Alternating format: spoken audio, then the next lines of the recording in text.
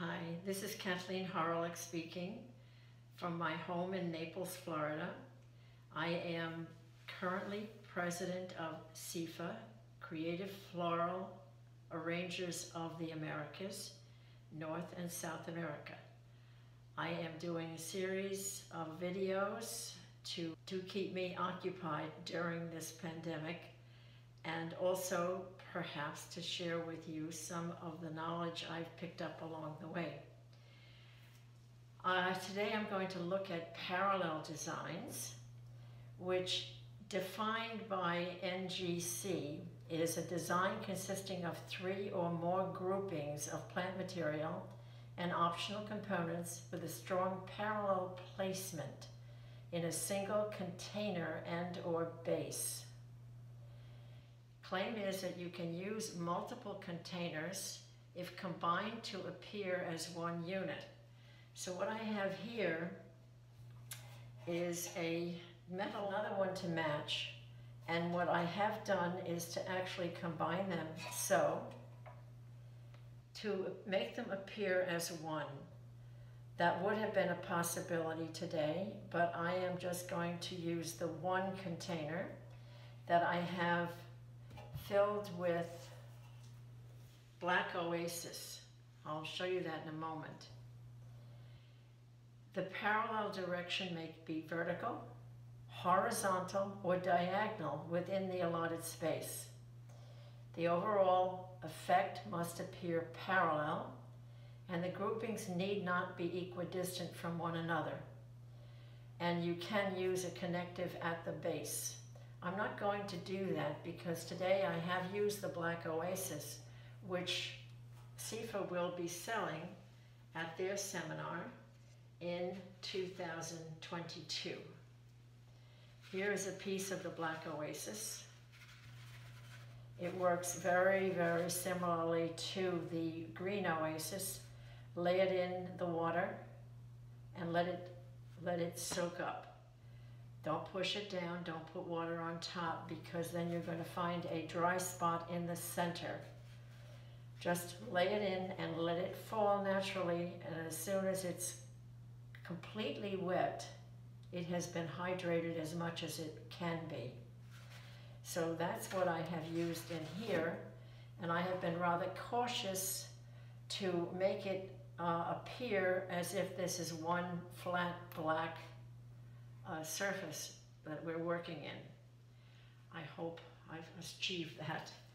So what I'm going to use, I did buy some flowers this weekend and I also am using my Sansevieria from the garden and I thought we would start with Sansevieria. Let me see, do I want it, I want it parallel but I don't want it boring. So I'm going to alter the size of the components. And with this Black Oasis, you really only have one shot at putting it in. So I'm going to be a little careful, hopefully. Okay, I've got that, I've got this, and I need a third. So I'm picking material that is sort of interesting, um, little curves, little twists that nature has put in. So I now have three components that are parallel to one another. This one is leaning a little. Can I possibly straighten him out? I could by getting him in a little further. Then my main interest is going to be these lovely orange lilies. And I'm taking the extraneous leaves off.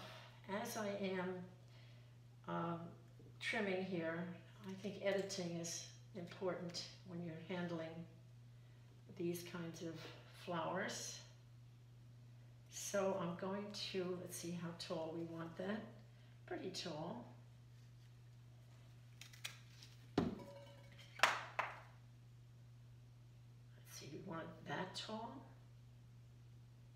Hmm. Maybe.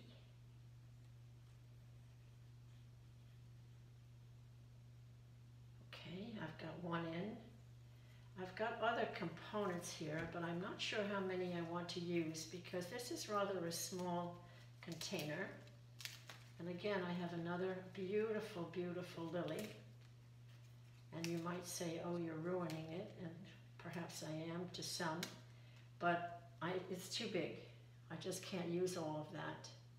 So what I might do is take this, this one and feature it. I think I'm going to. And I'm going to rid us of this lovely part. I'll use it somewhere else. And let's see, this one is going in another direction, so let me get rid of him. And I'm going to use this one kind of low. So, let's do this. And I'm giving it a fresh cut, and I'm giving it a cut at a diagonal so that when I do put it in, it's going to soak up as much water as possible. And this always try again to keep my spaces because that's what's so important here. Okay, and then I need, do I need, yes I do, a third one here. And the colors are so beautiful because we have opposites on the color wheel, which are always give a beautiful contrast, that open space. I've seen this parallel design used in some very clever ways. Uh, one woman wanted to interpret a hurricane with a parallel design, and what she did, which I thought was very clever, was to have this on a diagonal, the parallels on a diagonal, which would be indicative of the sweeping wind that came through during the hurricane and changed the angle. So there, I believe, is a parallel design. I had no need to put in filler here because it's a flat surface, it's black. Um, I think it's rather attractive. So we have all the components that we need. I'm going to turn it one more time and just see if we are on target. It looks okay, and as I say, it's going to change in an hour. The lilies will open and give a completely different look. There's one other thing I'd like to point out, and that is when we are working with these lilies and these stamens appear, they are a killer for a bride's dress. So when I work with a wedding, I take them out because that's the last thing you want to see on a bride's dress is that black powder. If you do get it on your clothing, I'll give you a hint. That hint is use scotch tape to remove it gently. All you do is take the scotch tape and pat, and it will disappear. There's another thing I'd like to point out to you. I'm going to show you the back too. The back is finished. There are pieces of the plant material in the back. And I always finish the back of my designs because I don't care what they say, if they say it's going to be up against a wall, and nobody will ever see the back, don't count on it.